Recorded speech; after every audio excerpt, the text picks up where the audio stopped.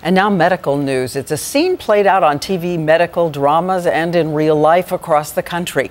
Doctors racing against the clock to get a donor heart to a patient in dire need. Now, David Wright tells us about an almost sci fi technology to keep those fragile donor hearts beating. And we have a warning for you. Some of the scenes are medically graphic. Inside this box is something you don't see every day, even if you're a cardiac transplant surgeon a human heart still beating, even after its donor has died. It's like something out of Edgar Allan Poe. Something like that. Still pumping until the moment surgeons place it in its new recipient. The heart doesn't miss a beat, as it were. Literally. That's new in the world of heart transplants and potentially revolutionary.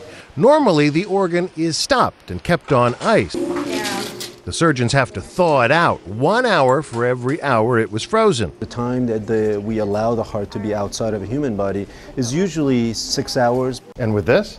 With this, it can go on, maybe up to 24 hours. Not only that, but with this experimental procedure, the surgeons can see right away if the heart is viable. This allows you to kind of test drive it? To a certain extent, that's probably a good analogy. With a frozen heart, it's always a guessing game until it's too late to put the old heart back. There are now more than 3,200 people on the waiting list for heart transplants. Every year, 10% of them die waiting. This procedure could expand the pool of recipients because a donor heart can travel farther to find a possible match. Andrea Ibarra was waiting a year and a half for a matching heart, so she was willing to be among the first.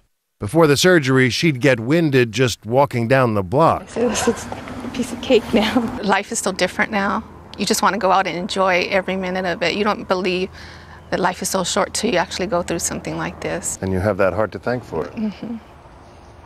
And I thank God and her every day for this. One day we'll meet again. Thanks to this experimental surgery, not anytime soon. Yeah. David Wright, ABC News, Los Angeles.